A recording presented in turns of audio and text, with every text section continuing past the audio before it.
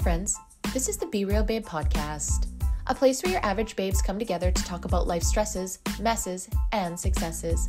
A place where being yourself is the ultimate goal, where your opinion, your story, and your individual experience matters. Join me, your host B, and my guests for real and raw talks every week, laying it all out there so we can all help each other learn more, grow deeper, and evolve collectively.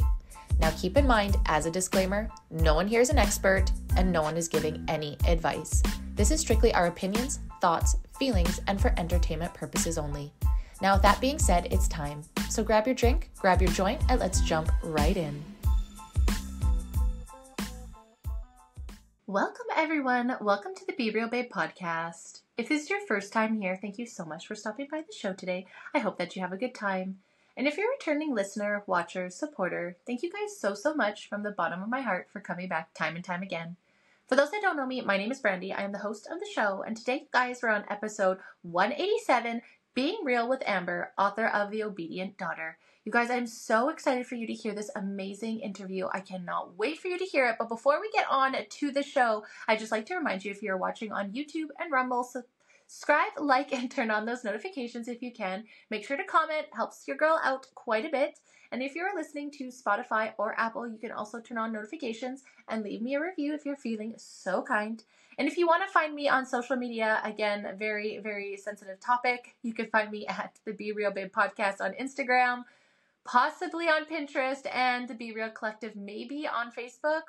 I don't know, you guys, I'm getting hammered hard at the end of the season, but we are still here. We're still recording. We're still playing, and we're not booted off of any platforms that run the podcast. So that is amazing. So, you guys, I'm very excited for you to get into this episode, and I cannot believe we're on the final stretch, the last couple episodes of season seven. I just want to thank you guys, as always, for liking, supporting, doing all the things that you guys do. It's absolutely insane that you guys are still listening, even though it's just little old me. Um, so, as always, just Thank you guys again from the bottom of my heart. Let's finish season seven strong AF.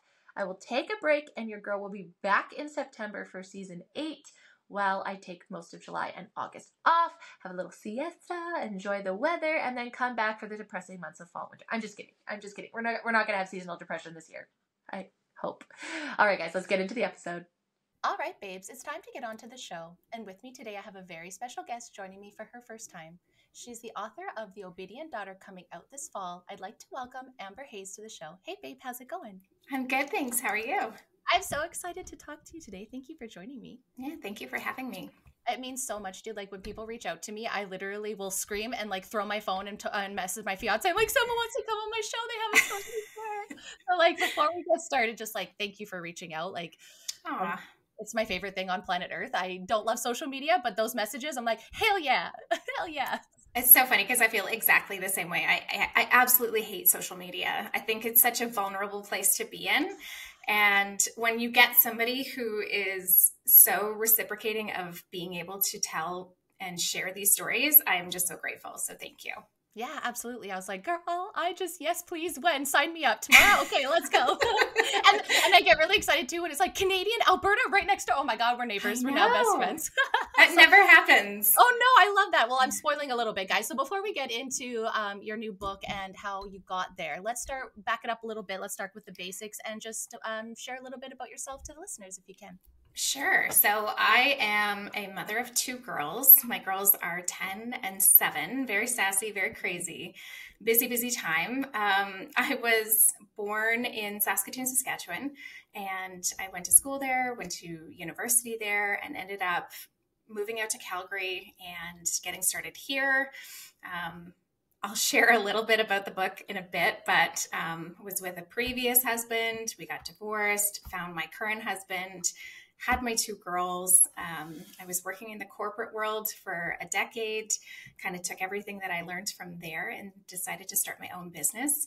I feel like when, when you start to care more about what, say, the presentations look like or what the office space looks like instead of what's the actual content in mm. there, I feel like it's it's like a sign that's telling you to kind of pick up and move on. And and so I started my own interior design company and uh, yeah, so I specialize in children's design, but I also do um, full home, full condo design as well. So yeah, it's a passion of mine and it keeps me going. Oh my gosh. And in Calgary too, what a great place to do that because I feel like that's a place that has everything. So you want like city life, you got that. You want farm life on the outskirts. So it's like really you could probably tie in so many different things in that space. That's so cool. So many things. Yeah. Yeah. yeah. I didn't start in Alberta either, but I went there and same thing. So we probably have a lot in common because I also mm-hmm. was with the first husband. We were in Alberta and I left and now I'm in BC with my soon to be next husband. And That's so amazing. yeah. Good Congratulations. For, uh, thank you. Thank you for for um understanding what's like small town move to like Alberta life is. Like it's Alberta has such a beautiful community. I will say, like, mm-hmm. I've never felt anything more like Kelowna is great. Don't get me wrong, but everyone's like yeah. doing their own thing. It's like hustle, hustle, business, entrepreneur. Like I'm sure Calgary's yeah. like that too, but just like right now. Well, I mean, I mean, right now might be a little sensitive for those in yeah. in Calgary because the Flair, the Oilers are. The, the, Stanley Cup, but it's a Canadian team. You know, I'm from the island right? We're so we're jumping on the bandwagon. We are being as supportive to. as we can, right? Team yes. Alberta all yes. the way. So yes, that's, all that yeah. matters. Like, man, I've, I've I had to cheer on Canucks my whole life being from the island, so like I'm just so used to it. bandwagging to the other Canadian uh, teams. So like as long as it's Canadian, right? And it's as long right. As and it's oil too, right? It's like huge. Like my um, my future yeah. husband's in oil and gas as well, so he uh, okay. uh, works up in, in Grande Prairie. So that's where he actually is oh, right nice. now. I think he's on like day twenty three or something. He's home next week or something like that. So, oh, yeah. cherish the time. Hey, oh my gosh. Yes, Canada is going to be so much fun for multiple reasons. Um, but anyways, no so back back to this. So I love that you said you said you started in corporate. Can we talk about yeah. that a little bit? Like, so what what yeah. did you do in corporate? Um, so I was an account manager. I worked for a I would say a top Fortune 50 company, um, and so worked my way up the ladder. Started in Saskatoon, was transferred out to Calgary.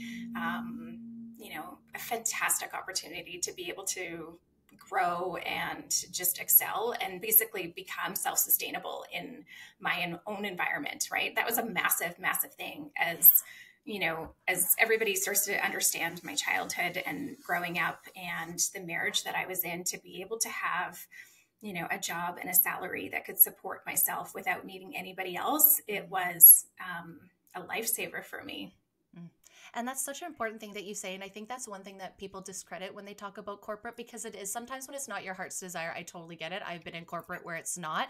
I'm in corporate yeah. cannabis right now. So this is like every day I'm like, yeah, what's next? Right. So yeah. it could be really draining, but it does yeah. give you so much when it comes to learning about yourself and your mm-hmm. interactions mm-hmm. with people and what to take personally and what to not. So yes. I imagine we'll get into, and like you said, that there's probably reasons why you went to that. And I would probably emanate that that's the same for me because I needed to take control. And I felt like my corporate job was something that I could control because I didn't have children. Not that you should control your children. I'm not saying that, but like, I was for like, sure. what is mine? What's my project that no one can take away from me? And you're right. Like, that position is usually i mean of course there's you still could get fired but it's um yeah. it's it's super interesting when we start to evaluate the choices that we made we're like interesting once we start to unravel so mm-hmm. now we're coming into being an author is this your first book this is my first book and cool. I, it's funny because i told my husband that i was going to write it and he was just like you know when we we got together if i if you would have told me that you'd be a published author i would have like been the most shocked person ever so so but it's it is an honest honest story and i think um, i think nowadays it's it's a story that needs to be told and i think there's so many women out there that share in very similar instances um, and i hope it inspires them to tell their stories too Absolutely. And I think you'll inspire people not only just with your story, but also being like, my husband even was like, You're going to be a published author. Like, you can absolutely do whatever the fuck you want to do. That is like the baseline 100%. to that. And I feel like you're going to be a very, like, that's a reoccurring theme in your story is like, mm-hmm. you might mm-hmm. be told or put in a different way and you're like no that's not it i'm gonna do this not saying that your husband's like you can't do it but like i'm sure there's a little side of you that was like hmm, motherfucker watch me like right you know yes. like yes. inside subconsciously and not a yep. like shade we need that out of our spouses a little bit to like stoke that fire in a positive way so that's amazing yep. so it's coming out in, in this fall so could we talk about that a little bit and and little amp it up where where where people be able to find it and when yeah. going to be out there? So it comes out September 24th, and it's going to be available on Amazon, Indigo, Chapters, Barnes and Noble, all of the main distributors. Um, and I'm going to do some extra work on local uh, appearances, book signings, um, a book launch party, all of that kind of stuff. So I'm so excited. That's so cool. If you come to Kelowna, please tell me. I want to be all a part of it because I will be Yes, right there, ma'am. first person signing. Love. I was like, "Where's the book? Give me the first copy. I need it." I, I've had. I um, love it. You're my second author, and uh, I bought her book not only to support her, but it was more about like those that are getting explants um, for their breast implants. And for me, it was Mhm. just like I've never had them, but wanted them, so I really related to a lot of the stuff in the story. And I think that's one of my favorite things is that you might not always have the same story, but you can learn so much from other people's stories that could relate Right. to you, right? And I think Yeah. that's huge. And I completely agree. I find that like I'm always out looking for people to be on the show, and I Mhm. find there's a couple topics that are very difficult, which completely understandable to have people on because they're just not Yeah. ready and your story is one of them and another big one is plastic surgery that like Right. that didn't work out that one is really really Yeah. hard because i think that's like the external kind of like visible abuse kind of thing and then 100%. this this one that you have gone through is like not necessarily always as visible so the obedient daughter is the title do we want to start Mhm. with like why that came to and maybe that probably has to go back to your story probably a little bit Yeah. So the obedient daughter, I guess. Oh, coming up with the title is like naming a child, right? Like it Oh. the most difficult um, thing. And so I, I had so many in the works, but this one had always stuck. And it was one that I first came up with two years ago and I just kept coming back to. Um, and so my editor actually said, she's like, no, that's the one. So after reading my story and understanding and that sort of thing. And so to give, um, you know, the listeners kind of a synopsis of the book, it is a, it's a memoir. It is a childhood um, abuse, sexual abuse story. So I grew up in a family. Um, I wouldn't say we were close knit by any means. Um, I had two older brothers, and one of my brothers was actually um, my abuser. So he sexually abused me for eight years from the ages of five until 12. And um, it was extremely tough. I guess at that same point, while I was so young, I had no idea that that's exactly what it was. So I'll get to how it kind of developed and how I understood it later. But um, my mom was actually my abuser's um, supporter. He was her favorite. And so she suffered from borderline and narcissistic personality disorder. And so that kind of created a completely different aspect to a household and the abuse that I was facing. Um, to get away from that whole dynamic, um, I ended up marrying an abusive husband because at the time he was a lesser of two evils, three evils, right? Wow. Um, so it kind of takes you through um, my journey to healing, to acknowledging how that affected me as an adult, how it came about, um, and my goal to be nothing like my mother, to provide self awareness to my children, to do everything absolutely different than her. And so, um, yeah, it's been quite a journey, but I feel like I'm in a very, very good place to be able to share it with the world. and that's that's the part where I was just like, oh gosh, girl, like I want to make sure that I'm framing this properly and making sure I'm supporting you. And you're immediately like, don't worry, I'm here. And I was just like, oh, this is so so I hate that I have to be like, I'm excited to talk to you and things are amazing. But usually when someone's sharing their story is when they're at that part where they're ready and they're Yeah. going to take that fuel as fire to help everyone else. So Yes. um i'm one obviously extremely sorry that that you've obviously had to go through that even though i'm sure you've heard that and it's it's surface maybe level coming from me but i just i feel the family part is so hard because you're five like Yeah. you didn't i'm sure you didn't know that was that your oldest so you had two older brothers and that was the oldest of the two So he was my middle brother. He Oh, the was middle the brother, closest. okay. So my oldest was eight years older, and because there was Oh. such a drastic difference between the two of us, um, he was very removed from it, and you know was supportive, but at the same time we were never close until much later in life. Yeah, no, absolutely. Yeah. So I have the same gap. Uh, well, about I have 12 age gap with my two younger brothers. So I, I have a, t- yeah, I was 12 when they were born. So 12 and 15.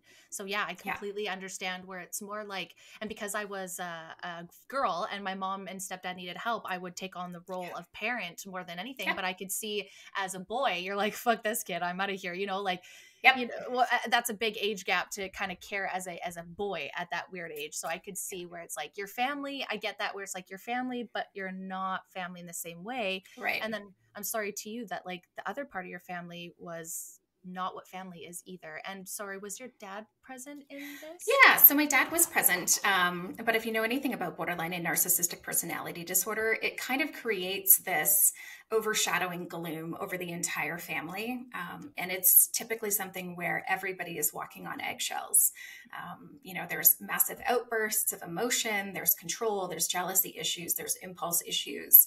Um, and so you know, as I can look at it now and I can see that my dad, as supportive and as loving as he was to me, he was also under that umbrella of abuse. Mm-hmm. Um, and so extremely difficult for him as well. And so, yeah, I don't, I don't blame him. I don't, there's, there's nobody that I blame um, at this point. I've gotten to a point of forgiveness and, you know, it's just something that um, if, if those kinds of things never happened, I wouldn't be who I am today.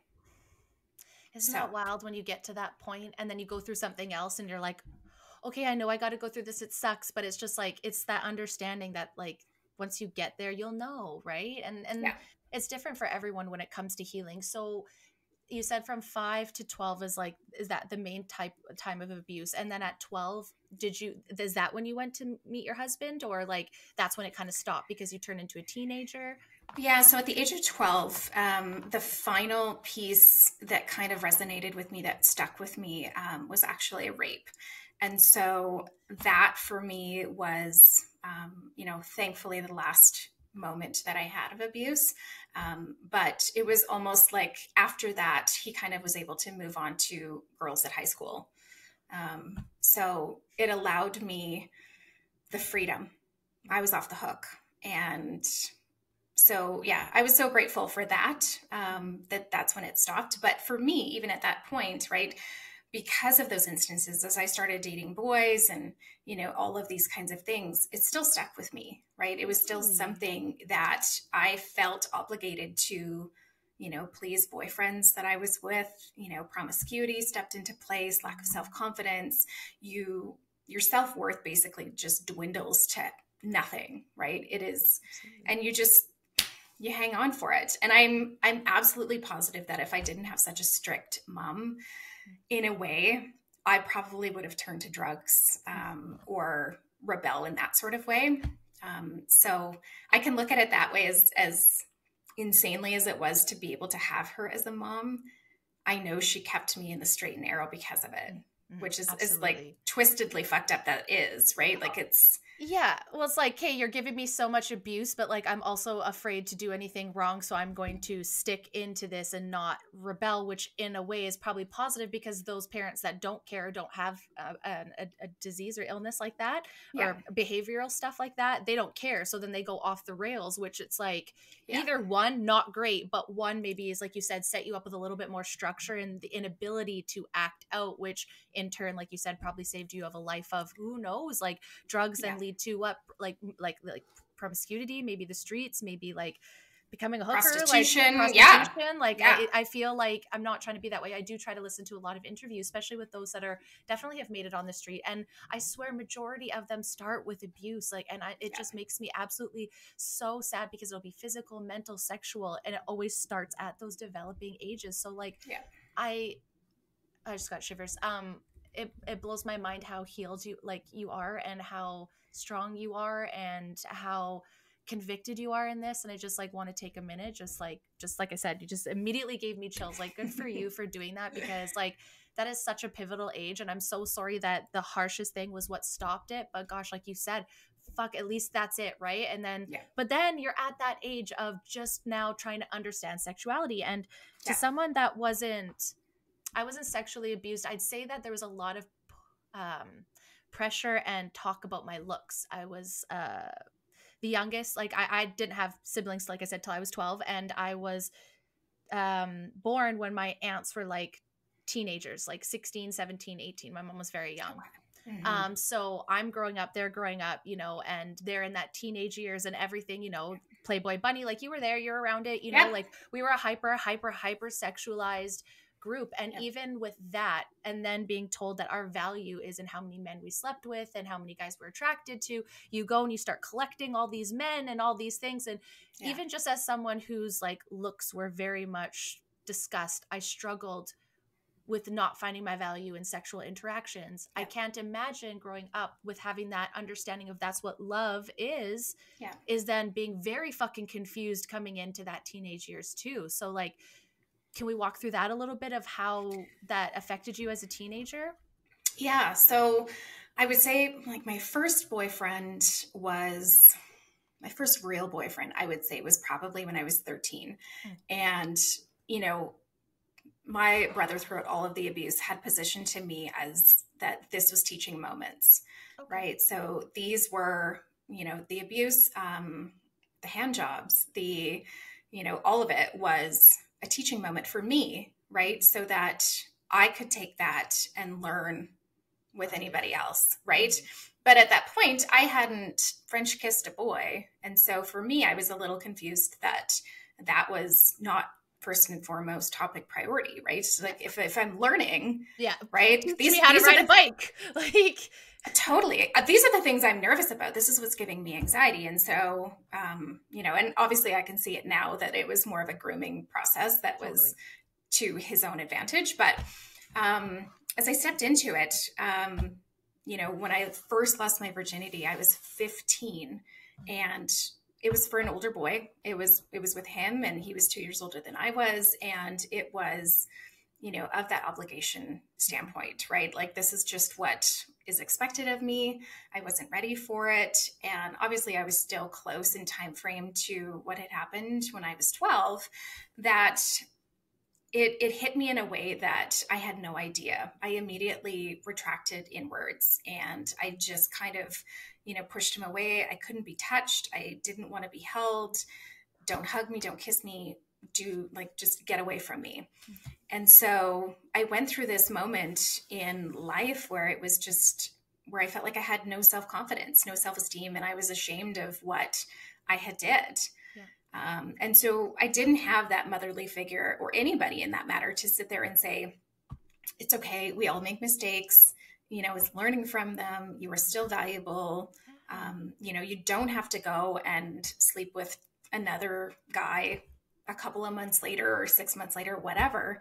Um, so it's it really impacts. And so, like, I look at that now, and it's like the idea of speaking to our youth and our children about this kind of thing and holding them and themselves on a pedestal of value um, and self preservation and just being able to wait it out for whenever they're ready um, is massive.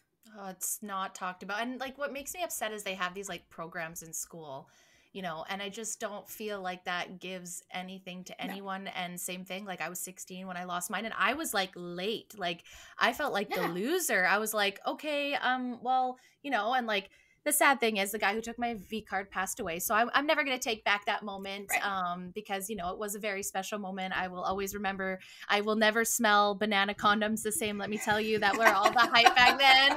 Uh, gross. We were watching Big Daddy and that was the big joke with the whole group was just like calling him, you know, and like, but I also was not prepared. But then, like yeah. to your point, is that's what we were sold was our yeah. value, and it was important, and it was kind of like the more men you slept with, the more value you had. And as I'm coming into my 40s and really like looking back at all of my personal sexual trauma, I'm like. that's where it started is being told that at a young age and then like you said like feeling like you just have to do that and that's your job and you know what it is a great act with the right person in the right time yeah. it's a beautiful connection and i feel like there's so many things that I've spoiled that, but especially like, you know, I feel like sometimes purity cultures ruined it for themselves because it's almost like too extreme. But at the same time, when you've been abused that way or see it, you're like, I get where they're coming from. Like, yeah. I really do because that is a very strong connection at a very young age that we don't understand. We're just sold to like, it's just sex, like on the movies and Playboy, and it's like be open and free. But there's so much more to that that people like, I feel like maybe don't understand until they've had maybe a really negative experience. Right. Yeah. And that too, like when you talk about the V card and, and God, I think I was, by the time I was in grade, threll, grade 12, I had three notches basically on my belt, three V cards of other guys that I had taken and I was labeled a slut. Yeah. And it's exhausting. Like I had received a death threat in the middle of class because I took the V card of, you know, a guy that, you know, she was now dating and they were upset and she had friends to support her. And it was just like this whole thing. But at the same time, it's like, you know, you have no idea what I've been through that had put me in that position either. So true. Yes, every girl that we meet has someone, little girl broken inside that's trying to heal, right? Like 100%. And it all it all manifests differently and I think that's why our grace comes into place and mm-hmm. conversation. Mm-hmm right? Yep. Instead of slut shaming, which like girly, I was on the side of being a slut. I was a girlfriend that was friends with all the guys. Like I was like it was either I was in a committed relationship or yep. I was a slut. Like there was no one or the other. Like I couldn't just be because like you know you got to find the next man. You gotta you gotta get get out there. Get under to get over one man, you had to get under another. You know, and right. so it's like the already sex culture that there is is already kind of like so aggressive. Mm-hmm. And then like you said to your point there's many women or kids that grew up with parents that didn't explain any of those things to them. No. And then in your situation, not only was your mom or dad not explaining that, but you also had someone on the inside being like, "Oh, I'm explaining it to you," but gaslighting you because you, like you said, you knew that this this wasn't right. And is that something that you felt like right off the bat? Did it like progress itself? Like started at five? Did it start like lighter, and he groomed you over those seven years? Yeah, it it went from you know like and I kind of go through and I explain everything in the book and and there's trigger warnings and such like that but um yeah it started from curiosity of taking a flashlight to you know my private parts when I was 5 to um you know rubbing bodies up and down saying that this is what sex is right? To um, exposing me to pornography for the very first time um, to you know showing me nude magazines, videos, um, to hand jobs, to um, anal sex, basically. And so it came to the point where, at that final point, it was saran wrap that was wrapped around him. And he said, It won't even touch you. And so at that moment, yeah, you know, I felt like it, it was obviously painful, right? Mm-hmm. And it was something that I wasn't okay with. Um, you know, but he followed up with, You're not going to tell anybody, right? And so it most definitely was something that everything else I kind of just pushed away and pushed aside because it didn't make sense to me. Yeah. And it really wasn't until um, I would say in 2020 when COVID hit, mm-hmm. right? And I find that everybody was kind of in the same place. It got quiet, right? The noise of life and everything got silent. And we had to sit within our own thoughts and the noise of all of our inner traumas and that sort of thing, or our marriages that weren't working out, or, you know, fertility jobs. issues, whatever, jobs, exactly, um, kind of came to like this abrupt boiling point. Yeah. And we couldn't, we couldn't say goodbye to it anymore. We couldn't stuff it down. And so that's exactly what kind of happened with me. And it um, presented itself as symptoms of MS. So, wow. That's yeah. huge. So let's okay, let's go let's get ourselves to there. So um you graduate from um school obviously in Saskatoon and did yeah. you stick around there? Did you go to school there? Did you did you go right to your job? Yeah, no, so I went to university and I got a degree. Um, I ended up traveling down to Las Vegas oh. um, and I stayed there for two years. Um, so the the gentleman that I was dating at the time was playing hockey. Mm-hmm. And so we traveled there. We ended up coming back, um, you know, got engaged, got married, and started working shortly thereafter. So, and through all of this, had you kind of so 2020 is when you kind of realized that maybe that wasn't right but throughout time did you revisit that kind of part of your, of your life or did you just kind of close it into a container and was like you know what this is the past i don't need to deal with this and then like you said 2020 it was just like the mirrors were put up to everybody right. and any like you said anything that you couldn't face you're either going to face it or you're going to get worse in, in avoiding it i think is yeah. probably fair to say for most people yeah. So it was always something that kind of reared its head, right? Mm-hmm. It wasn't necessarily the seven years prior to that. It was that one instance that, you know, kind of bubbled. And for the most part, it would be um, triggered by sexual experiences a mm-hmm. lot of the time.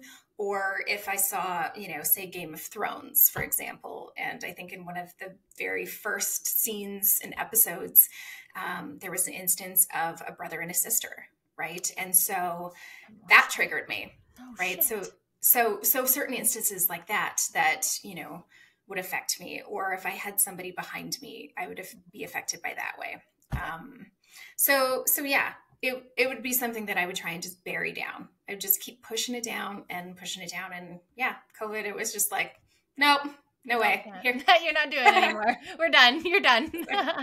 okay, it's time. Yeah. And that's Yeah. fair. I mean, you can, I think universally, it's just they know when it's time, right? It's like you're strong enough to, like, it's maybe going to be very close to breaking you. But if you carry on any Yeah. further for whatever reason, like you said, now it manifested into a physical illness, which I have heard so many people say when they've regressed and held on to something traumatic. And I feel like, um, personally in my life, there's someone also that has a pretty bad physical ailment, and we 100% believe that it's from trauma as a child. Yeah. And so when you said that, just very much validated that feeling. And that's super scary, especially when you're going through all these testings, trying to figure out what's Mhm. medically wrong to find out that, like, well, you get prescribed these medications, that's not going to be the right thing. Um, and so, did that happen to you in 2020 when this all kind of came out? Yeah, so, you know, my limbs were going numb. I was having issues and that sort of thing. And so a lot of tingling, numbness. Um, and so I went through the full scope of testing um, with numerous specialists and doctors and CT scans and all of that kind of thing. Um, and then basically, my GP shifted me to, oh, well, you just have depression. Let's just put you on some, you know, SSRIs. You'll be fine. Like, just you know, start to work out a little bit. Let's get you a therapist. And I was like, "Ah, okay. And That's so, right, I I went through that program, and then one therapist turned to another therapist, um, and then that therapist turned into um, another one. And so it was my second therapist actually that she said, and right during COVID, there was such a shortage of therapists because everybody was, you know, using them and reaching out to them that um, this was the Alberta Health um, allotted 12 sessions or whatever they give you. Yep. And so that one therapist said to me, I'm going to give you permission. I want you to go and I want you to dig deep. Between now and our next session, I want you to go as dark as you can, go deep down and find anything that has happened to you as a child that you think may have caused any sort of depression. And she was actually the first person in my life that ever gave me permission to go deep and go dark. And it was something that I thought, I'm like, no, I'm just going to bury that shit. Like, Yeah. I don't want to bring, I'm not going to bring it up. It's like, over. It's yeah, over. no big deal. Yeah. And so, That- right, that I was just like, okay, all right. And so I did exactly what she said. And within three or four days of sitting in my deepest, darkest depression, of understanding that this moment that had been waking me up for the last two or three years, every single morning, this rape that was going through my head, it was the first thing that popped into my mind that I just kept pushing away. Mm-hmm. I acknowledged it. And then as soon as I acknowledged it, it started to unravel with everything else that had happened before. And so I came back to that next session and I told her, and she was just like, oh my God, like, shit, I got some skills. She's probably and you know what though, like you she obviously inspired you and, and and made you feel like an iota safer than you did to be able to explore that. And you Yeah. obviously it made you feel like that was time too, right? Like yeah. maybe had someone asked you that before, maybe you wouldn't like, you know, I remember one time I was sitting with a therapist, they're like, pretend your dad's right across from you. What would you say? I'm like, I couldn't even look at the space that Yeah. that person was talking about. I was like, that is no, that's dumb. I'm not doing it. Like Yeah. this is so stupid. Like, and it was because I couldn't even like look in that because I could very well picture that individual there and I had no desire to, right? And you're just like right. not ready to now. I have no problem doing it all the time, right? But there's Yeah. certain times and you know and yeah, like you said, I think COVID it was kind of a situation where most people are like shit is going to change and I got to change like whether you Yeah. know what that is or not. And so when then she's like, "Okay, we found it. Am I able to help you or did she pass you on to somebody that's maybe more specialized in in the issue?" Yep, she passed me on. She's like, I don't specialize in childhood sexual abuse, so I'm going to shift you over to somebody else. And uh, so then, yeah, it kind of worked his way. But prior to that, I would say that um, it was like my husband and I, we had hit the point of we're either cutting and running because this, mm. you know, my trauma and everything that was going on with me, my first instinct was to push away. Yeah. Right. It was to protect myself. Don't tell your secret. Don't say anything about it. Just go on living life as best as you can. Mm-hmm. And so it had gotten to the point where it was a mere few days after my realization about everything. And at that point, I was just like, nope, I can't, I can't share this. I have no intentions of sharing it. Um, but then, you know, we we almost broke down and we almost broke up and and destroyed our family. And he asked me what was going on and so I I opened up and I told him and he was the first person that I told and as I told him it was like you know in those insane movies where you've got thousands of bugs flying out of your mouth yes it was a visceral feeling exactly like that and it was like this poison had just you know bubbled up and came out and it was so freeing mm. to be able to tell one person yeah. anybody about it and so yeah um after that, she moved me on to another therapist, and we had worked on, you know, the life story, understanding it, um, and then did a number of sessions of EMDR. Mm, yes. Um, yes. which was extremely helpful, Good. and uh, and then I topped it off with a hypnosis session just to be able to you know really put the cherry on top and make sure we got it all and yeah. and uh, yeah, I've, it was life changing. That's amazing. So, would you say that majority of what you went through was, let's say, practices and services, or would you say that was there any medications that help you feel like you were given SSRIs, but did you end up utilizing those much, if you don't mind me asking? Yeah, I I would say that they allowed me to numb out a little bit. Right? It they just kind of take the edge off more than anything and i'm not a massive drinker and so for me i just it was a way to be able to have a little bit more energy and to just live in a happier state. Yeah. Um, so yeah, it's. I would say that they worked for the interim, but more than anything, I think just being able to speak up and tell, you know, your story and tell the truth and release it was the ultimate freeing. Yeah, I think for the fair to say where you're probably holding a lot of shame where it was yeah. just like because you were probably telling yourself because you had no one around you saying it's not your fault. This whole time you're thinking it's my fault. It's something i did. So you're hyper and analyzing everything about yourself so that you don't get put in this position again. And if you do you're like well it must be me because it was me the first time. And then finally someone's like hold on sister. That's yeah. not true other people yeah. are treating you like shit and it's so easy and i'm sure you pointed out with all people around you i'm sure you do not let your friends or you know anybody your coworkers let's say uh, uh, take that type of abuse but for yourself yeah. you're just you know programmed as at an early age without zero support um, yeah. and to and to the point with with your dad too i just want to say mm-hmm. this i hear this from people a lot where it's like my dad wasn't necessarily a bad dad, but he didn't do the things that he had to do. And yeah. I feel like that's also detrimental to a child as well, right? Where where and and and not that that's their faults because they're usually victims of some sort of abuse right? But i hear that a lot with like alcoholics you know like yeah. i come from alcoholics and it's like well why wouldn't um you know let's say like my, my, my stepmom say anything to him? Like why would like yeah. you know just actually regressing with my mom yesterday and remembered that i actually got pulled over with my real dad um he got a dui and my mom didn't find out about it until it was in the paper. He went to jail and got his license taken away allegedly. Um and I was wondering why I'm so afraid of people drinking and driving. Like I know why, yeah. but like any sort of like getting bent or any things, I like super panic. And it's like, well, because my real dad put me in that position, you mm-hmm. know. And then like I would look at my like stepmom, like, why didn't you say anything? Like what? Yeah. Well, because she was drinking too. You know, yeah. so it's like there is some people that you can excuse because they are part of the abuse, and some of them are like literally creating it as well. So I, I right. get that. And I feel like it's yeah. hard too because you're like, I love you, you're a good person, but you didn't stand up for me the way yeah. that I needed you to. Is that fair to say? Yeah, I would say it was. Um, you know, I speak very openly in my book about, you know, the the hands of abuse that my brother had, um, you know, the control that my mom had over me. You know, I was very much a cleaner. Like that was my job. I was like a maid, basically, as we say. And my dad actually, you know, as kind and as sweet as he is, and, you know, as abused as he was as well, I was put in the position of therapist for him. Yes. And so I had convinced myself, and right, I, he enabled me to be able to give him advice. I knew everything about their marriage. I understood, um, you know, the things that she said, did, the things that he wanted.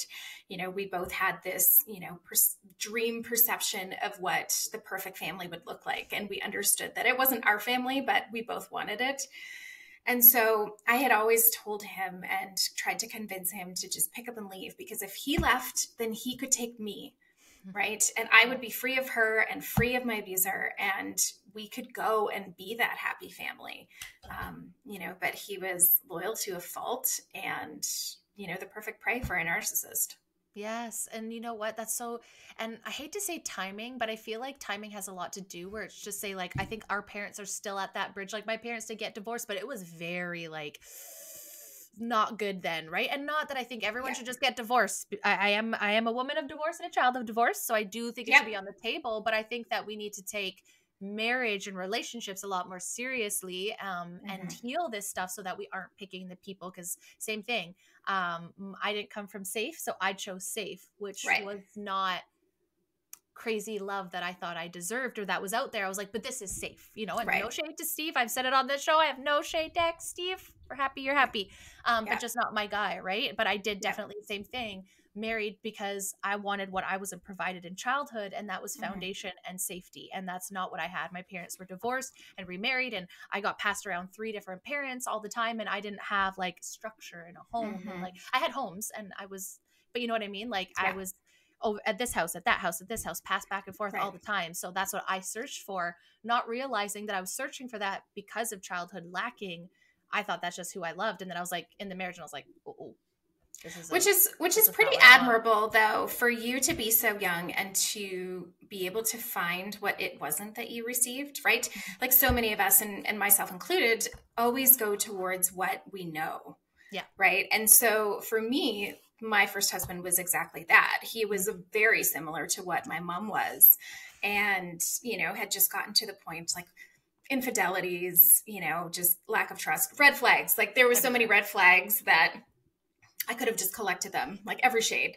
Yeah. And did I ignore them? 100%. Every single one of them, I was just like, this is the lesser of evils. Um, it's my ticket out of here. Yeah. And so he actually never knew anything about my abuse. Um, there was, I, he still, uh, like, I'd be surprised he doesn't know now. So it's, he's gonna. September he's gonna. 2024. He's gonna. And so I hope that there is a little bit of understanding for him in that as well, that totally. we were not perfect for each other. Um, you know, and by any means, I was not perfect in that marriage either. Um, but he wasn't and no. he wasn't perfect for me and you know we're both kind of remarried and doing our own thing and you know i hope that he's happy but at the same point in time i hope he would understand some of the choices and decisions that i made because of the abuse that i've been through and that is so important because I think even if you've healed from it, he's healed from it. I think there's always going to be open ended questions to any sort of divorce or relationship ending. And I think just for yourself and, and whether he wants to do that or not, it might be healing for him to be like, oh, this is why she reacted this way. And I think when I went into my second relationship, now going to my second marriage, it was so important to communicate, even if it hurts, because I felt like that's not something I could do in my last relationship. And not because like he just wasn't like emotionally like I am, you know, like was just yeah. kind of like, yeah, you know, where my one spouse now is like, well, I might not understand all of your emotions, but you can tell me about them if that's what makes you feel better. I'm like, thank you, just listen. You yeah. know, like yes, and it's just nice to know that okay, like yeah, you were a dick, but you know there was probably some spe- spaces that I was reacting to and I had zero awareness. Like I was talking about this on the show, so sorry guys, you're here again, but I always realize like you go back to certain things like fighting about the dishwasher well, that stems back to when I was a kid and would get yelled at about not doing the mm-hmm. dishwasher properly. But here I'm ripping Grant's face off and want to like give him an uppercut. And I'm like, I feel like this isn't this situation, you know, and when you don't have any awareness to any of it and you don't know yeah. because your family is pretty much telling you like this is how family is and you didn't see really anything yeah. different, you're going to have zero awareness to how you're reacting and fair enough until like you said it it faces the mirror. So hopefully that's yeah. Some thoughts for him to revisit for himself and maybe some some forgiveness he can give himself too for being like, okay, maybe there was some times that it wasn't me. But yeah. Yeah. But most time probably was. No, I'm just kidding. We're not going to shade and tea on this one. um, so I do have a question though. So you did when we were talking, you were saying, you know, that your mom is obviously the abuser's enabler. So mm-hmm. there's someone very close to me that has kind of similar situation, and they said that they went to, you know, mom and dad and explained this, and it was pretty much like you're lying. Is yeah. that a similar situation to you as well? Um, no, actually. Well, yes and no. I would say so. You know, I obviously told my husband the first, um, and then my dad was the second person I told, and you know, it had been a number of years where I had just, we had grown apart, my brother and I. And obviously it was just, I had always told him, I said, we're never going to be close, you know, et cetera. And so I called him one day and my dad have always, we've always been close ever since then too. Um, but I said, you know, do you recall how I've always said that I've, I'm not going to be close? And I said, well, this is the reason why.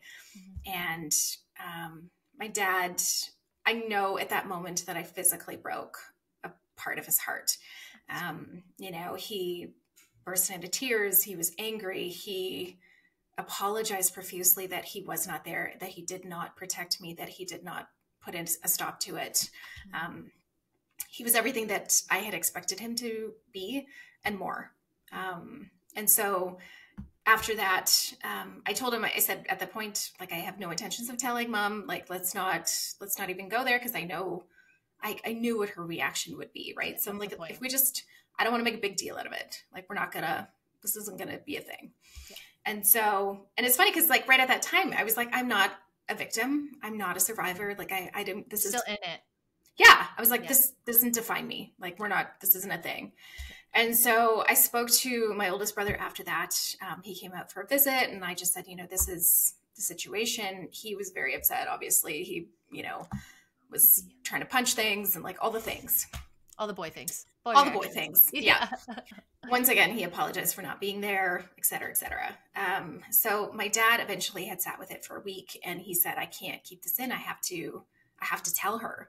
And he's like, this is just, this is breaking me. And I, you know, I knew at that point, it's like, okay, I get it. Like I've been living with this for decades. I can't expect you to do the same.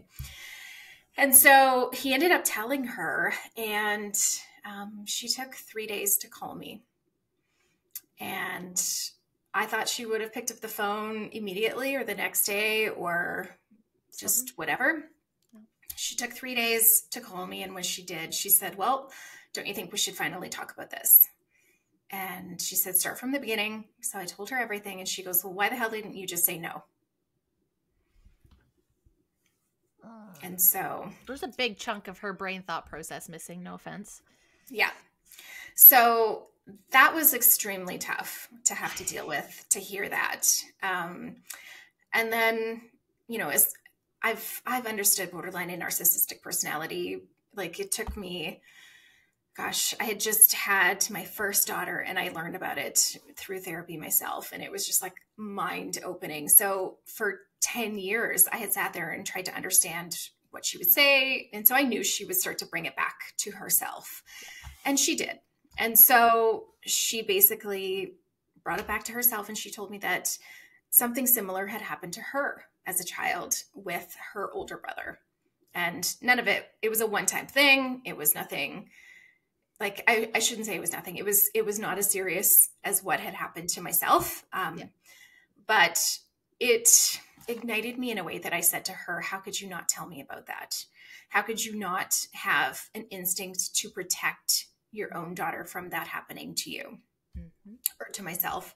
And so we ended up going through this. I call it the intervention in my book, mm-hmm. and it takes you through um, the meeting that we had as a family. And so we drove back to Saskatoon, and we all sat in my older brother's living room, and it was a point of presenting and acknowledging the abuse to my other brother. Mm-hmm. And he admitted everything. He apologized for it. He told me that it was something that um, had been stirring away in his own brain for the last number of years, that he couldn't come to a point of, you know, acknowledging it or admitting it. Mm-hmm. And so, you know, most people in every book that I've ever read has always said, don't ever, you know, confront your abuser after the fact. And so I was extremely nervous about that. But mm-hmm for him to be able to acknowledge it and admit it in front of my family gave me that satisfaction, I guess, to say, yeah, you can't, yeah, you can't not believe me now. Yeah, now what? He sat there and admitted everything. And so it was extremely tumultuous and just you know traumatic in the sense of having to face all of that once more mm-hmm. we left and it wasn't shortly thereafter that um, my mom basically said to me i'm done talking about this you need to get back up on your horse and get on with your life you've got two young girls and i'm i'm over it and so I was pretty shocked in that response. I thought it would have been an opportunity for us to have grown together, to, for her to show support, um, but it wasn't. She was over it, and so it. Um, the last third of the book takes you through, you know, what kind of what our relationship happened and the healing portion of it and all of the healing steps that I did and and basically what happened to her in the end of um, that series. Wow, that's that's so that's such a mind um trying to figure out how you get there. Um um I'm assuming it's just like a cognitive dissonance thing where it's like I don't really want to acknowledge that this was happening under my house. Yeah. So I'm essentially not going to. And we're just going to move on because you're fine. You look fine. Yeah. You're fine. So let's just, I don't want to unpack this or deal with this because yeah. obviously I've got my own baggage on top, on top. And like you said, sometimes you do the exact same or you do the exact opposite of how you were raised, right? Whether you're knowing it or not. And obviously, you know, and I feel like I hate to say that a lot of that generation above are just very mm-hmm. like, shut it in a box and it's not important. And right. a lot of them, it makes me feel really sad that they're taking this shit to the grave yep. and that they're never going to heal it. And I hope that there's lots of pride within yourself to just fucking face that. I read yeah. something today that actually made me think of of you. It's just like there's always going to be that one person that has to take the general generational trauma the hardest. And yeah. that's when we decide that the abuse stops. And I yeah. feel like that's half my mom, half me and i feel like that's you within your story now stopping that completely for the girls and i hope that empowers the fuck out of you to see that yeah. you did that over her you know? Oh my god. It was you know oh god i don't even know how old i was when i decided that i was going to be the best mom in the world and that would be the opposite of what she was right? And i made it my life's goal to be the best mom and, and break the chain of generational trauma and to just give my girls what i had always wanted and so I feel like I have stuck, you know, with that goal and I am succeeding in that. And I'm so proud of that.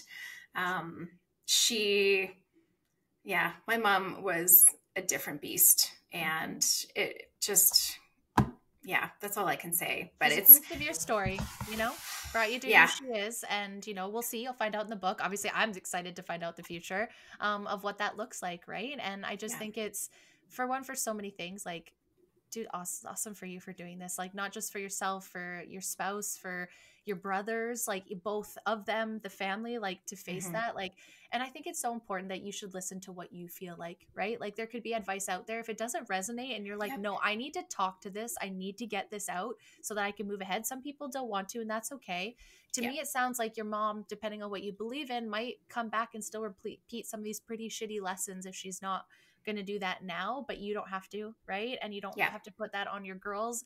And you can show them, especially in a super sexualized world, how to hold on to that beauty and worth. And because you had that you know taken away from you at a time you're going to yeah. be extremely aggressive with that for her for them yeah. and i think that's so beautiful and for other people so maybe let's do some advice so let's just say someone else has had a, somewhat experience from their family what would you suggest as the first steps um, to them to start like healing? Would it be like journaling or reaching out to someone? What would you say do you think?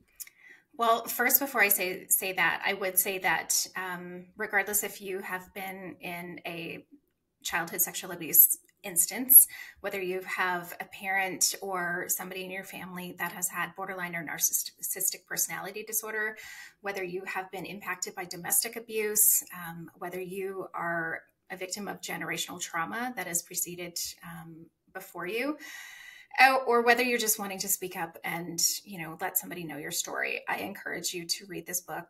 Um, the more people everybody that i've spoken to has in one way shape or another been affected by any one of these things and i feel like it is so relatable to so many women.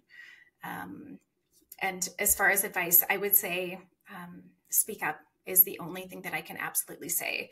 If it is not acknowledging your own inner voice from journaling or through therapy, um, or even just saying it out loud to yourself, releasing the demons and the trauma that is inside of you is an extremely powerful way to heal yourself and ignite it.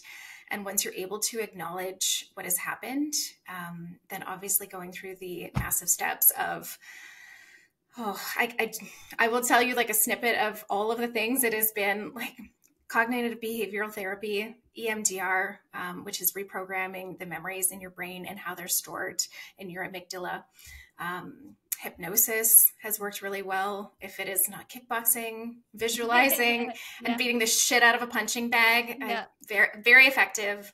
Yes. Um, I would say I've even talked to psychic mediums. Um, and so just being able to hear the words that you've always wanted to hear as a child, um, extremely powerful. But sitting in your own trauma, being able to acknowledge it and speaking it to even just one close friend, mm-hmm. I promise you that you will be able to find some sort of similarity because we've all been affected by it, which is extremely sad.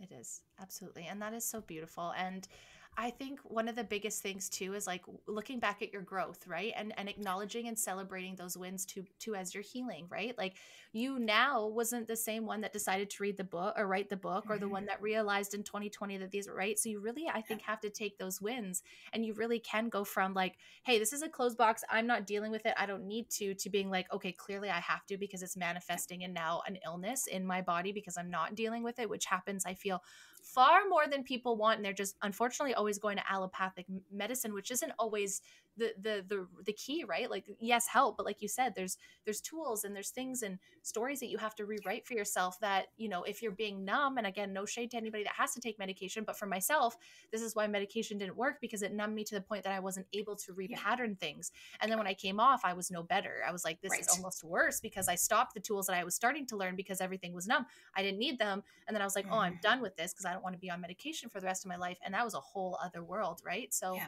um yeah and i think having like grace with yourself too right i think that's probably pretty huge like i'm sure you blamed yourself so many times and i bet you that that uh that from your brother maybe that would that be fair to say that when he acknowledged that is that when like the shame and the like oh i did this is that when it started to unravel a little bit or were you already kind of already there um, I was probably a little bit already there. Um, I think I think just like the shame is is unsurmountable. Like it is, it is a completely massive.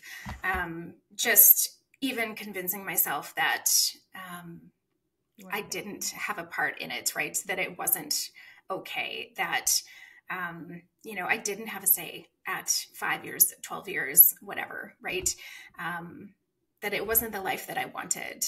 So that was exceptional to be able to understand that. And I think, like, I had read every single book that there is out there on childhood sexual abuse. And so being able to hear everybody else's stories, right? And understand that whether they are as similar to mine or as different as mine, or, you know, even more exceptional in, in regards to the the amount or the time or the length or the severity of it um, it is yeah I think it is just you find similarities in your trauma that you've been through and in other people. And yeah. it's you can share right? And understand that it wasn't your fault.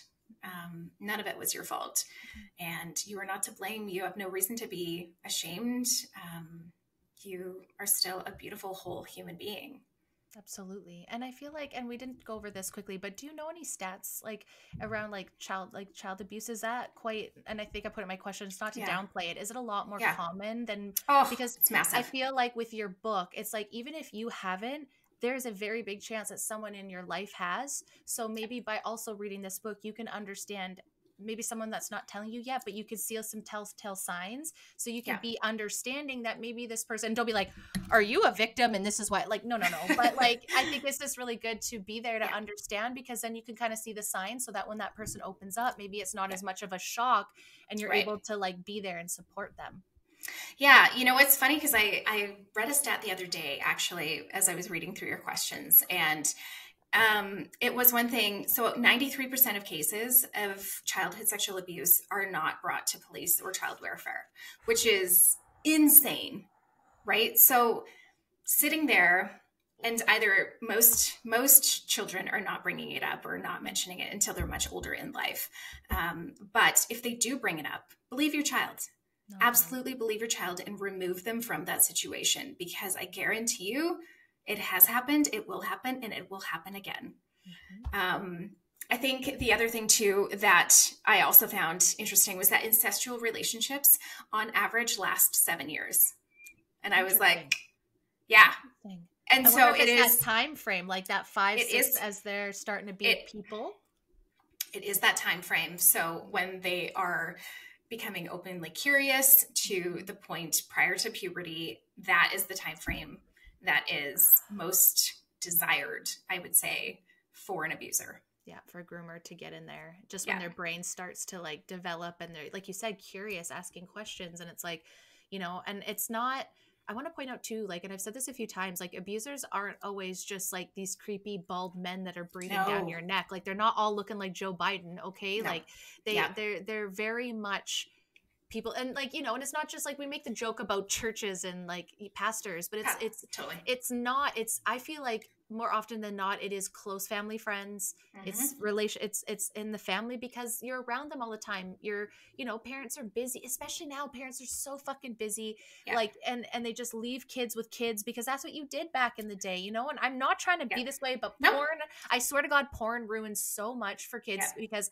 i feel like when it got in the hands at younger ages then this stuff started becoming yeah of course kids are gross but i do not feel like children were as like it's i can't believe i'm saying this sentence as sexually driven as they have been in the last like 20 30 years yeah. and i feel like that is the access to pornography because why the fuck would these kids unless they've been abused themselves understand this kind of stuff it, i mean yeah.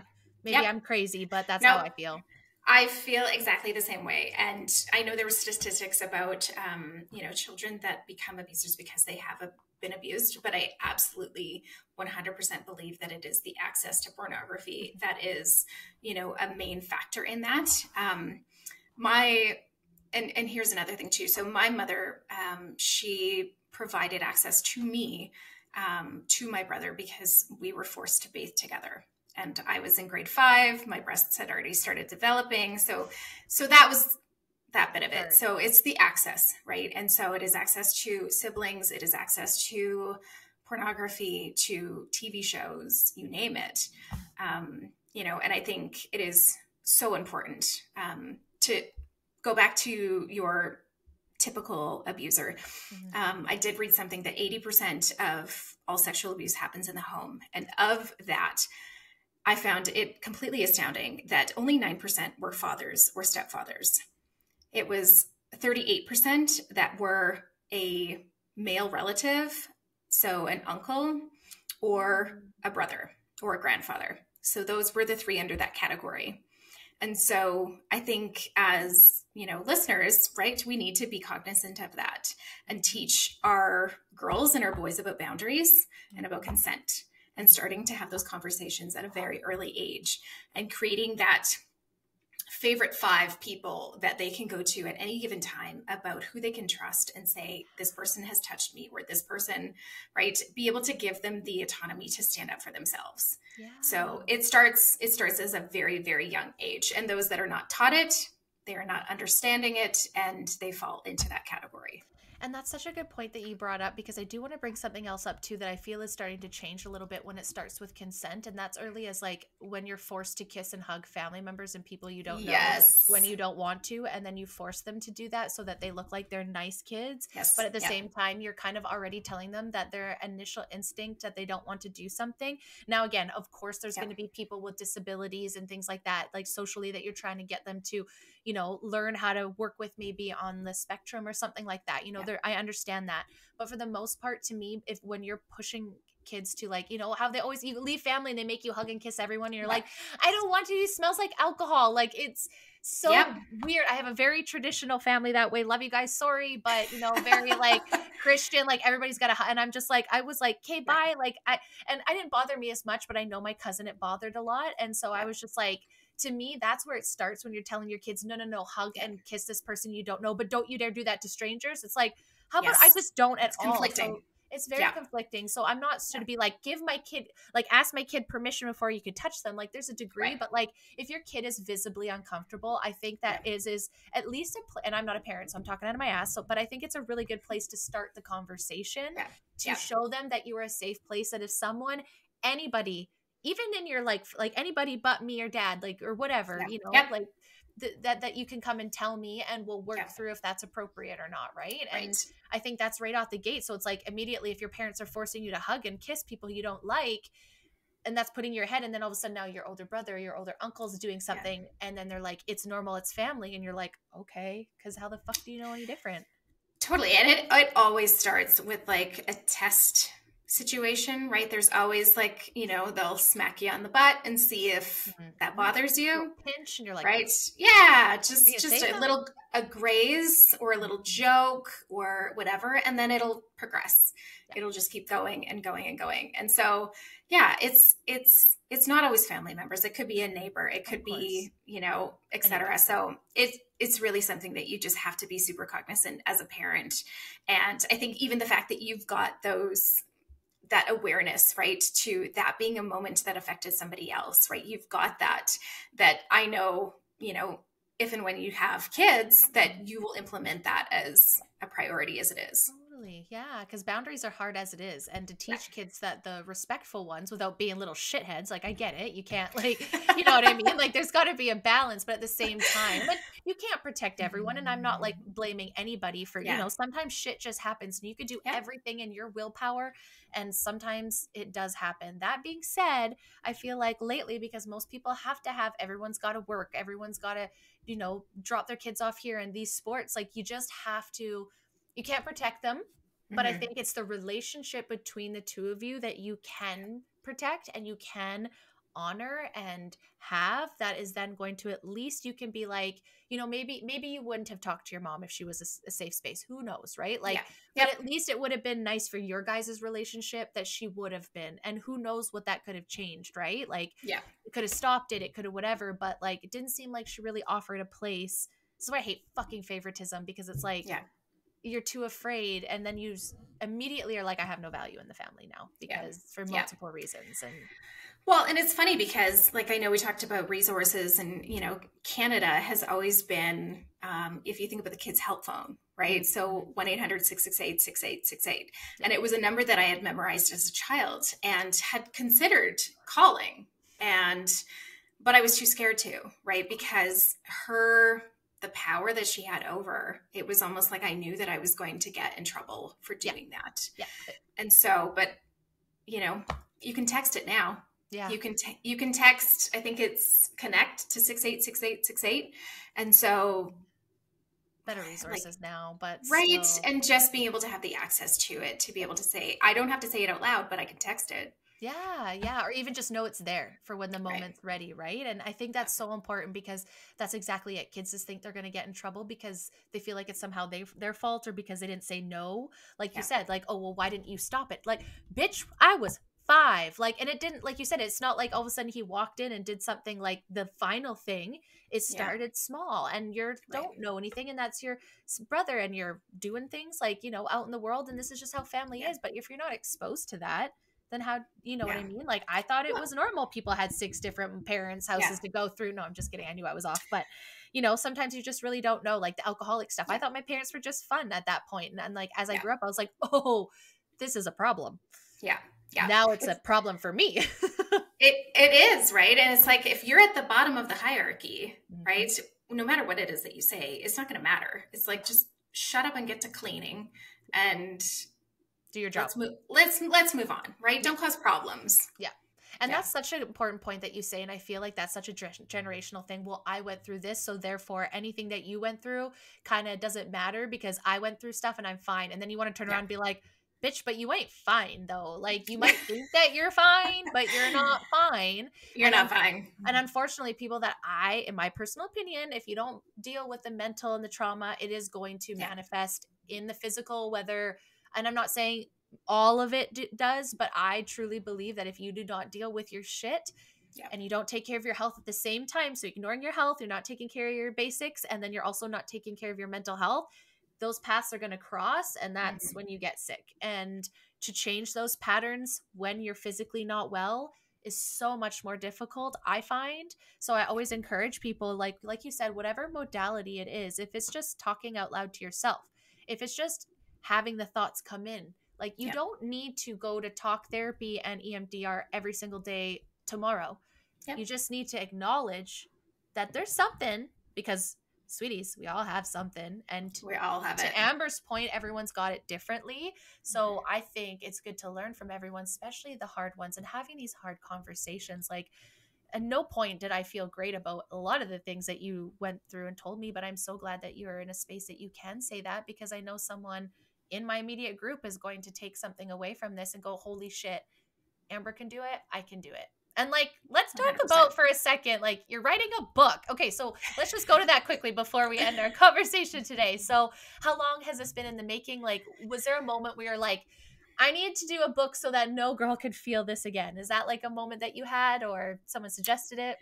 You know what? I feel like because I was told to keep it quiet, right? When I came out with my secret after keeping it inside 25 years, and my mom basically said to me, this stays between our family. Nobody else needs to know about it. Um, it it fueled from that point on of being able like just just being shushed right it's like you keep that shit back inside you nobody else needs to know our perfect family can stay perfect he can remain innocent that's okay and so that fueled my ignite to be able to say okay fuck that. Yeah. I'm speaking up. I'm telling my story. As embarrassing as it is going to be for her and him and all the things, it's still my story.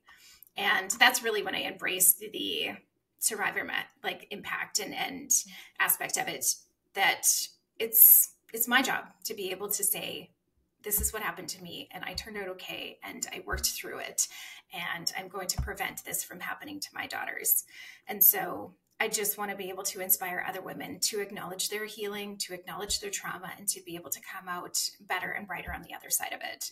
And so that's where I stand now with being able to share it with the world. Um, I'm extremely proud of it. It is a a long read, but it is the whole read. It is unbridled. It is everything in detail, and um, I really hope it can be an inspiration to other women. Oh, I guarantee it's going to be. And even just like besides that, like how does it feel for you? Like obviously you're not okay, that's done, we're healed.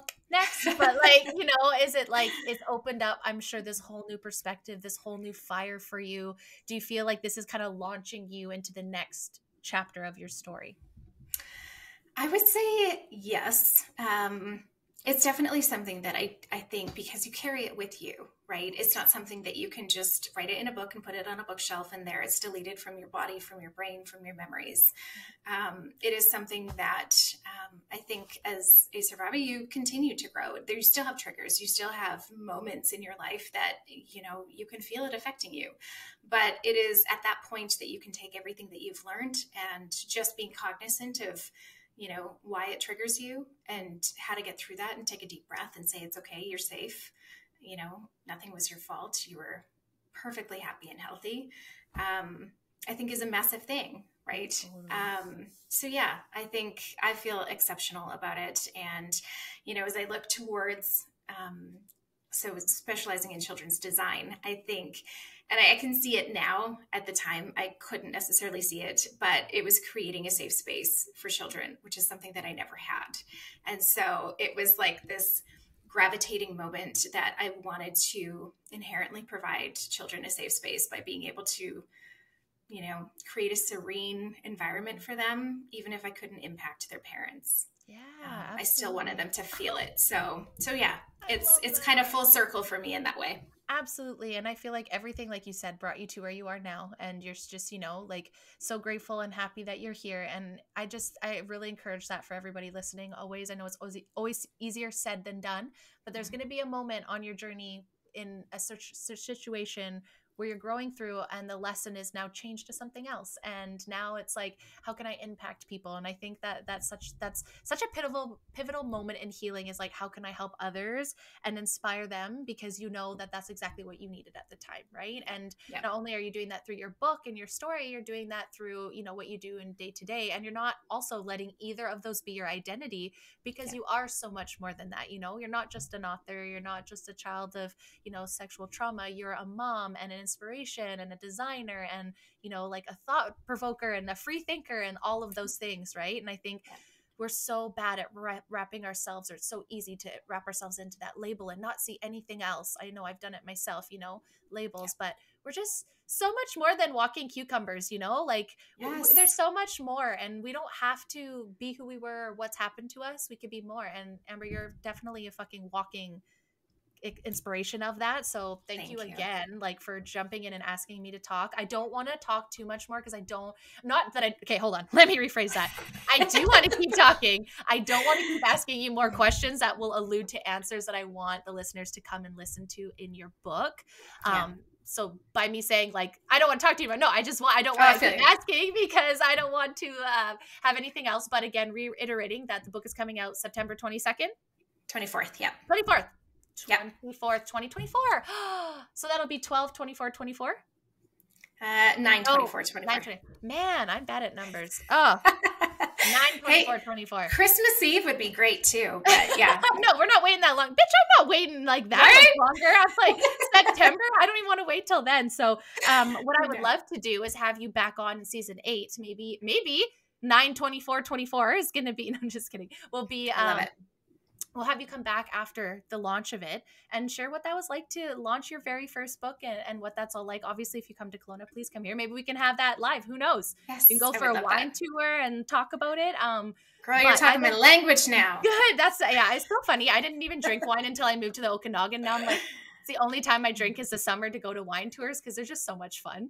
Um, I, I will never say no to Sauvignon Blanc in the summertime. like oh, it's just so it hits differently. It really It does. especially in the Okanagan. You know what it's like out here. Mhm. Um, but that being said, where can everyone find you um, for the current time um, to find where to get the book? You know what I mean, like Instagram. Yeah. So I've um, kind of dripped little secrets on Instagram under um, my author page. So it's Amber Hayes Author.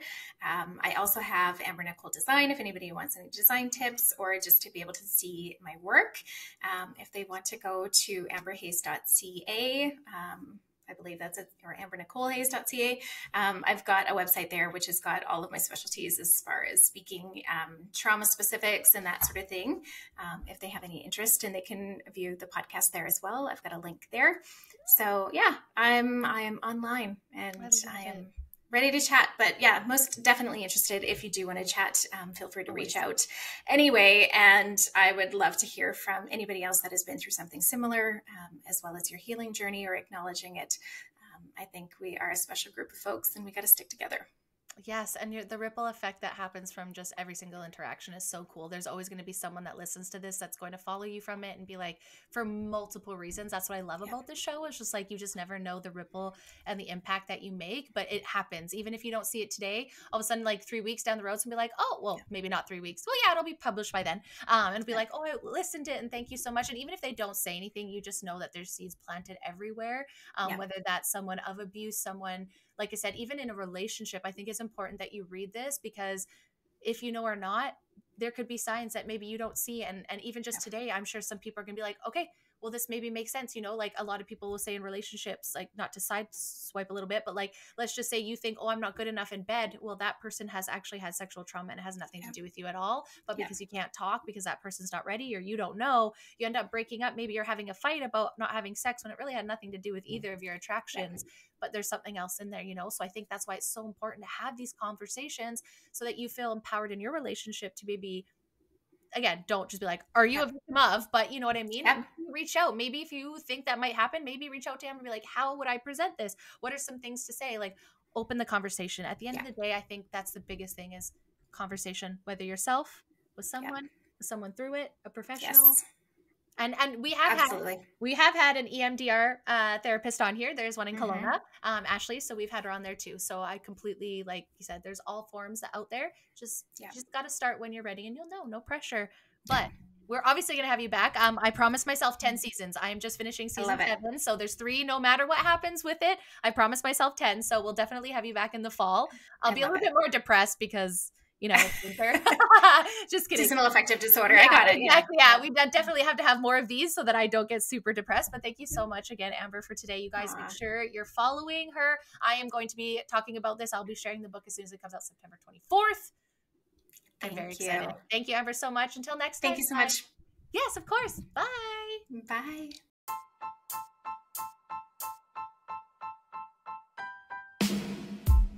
Thank you guys so, so much for the support. I cannot thank you enough for being here. If you like this episode and you want to hear more, please give me a follow at the Be Real Babe podcast on Apple, Spotify, YouTube, Rumble, and Pinterest. You can also find me on Facebook at the Be Real Collective. Until next time, guys, bye.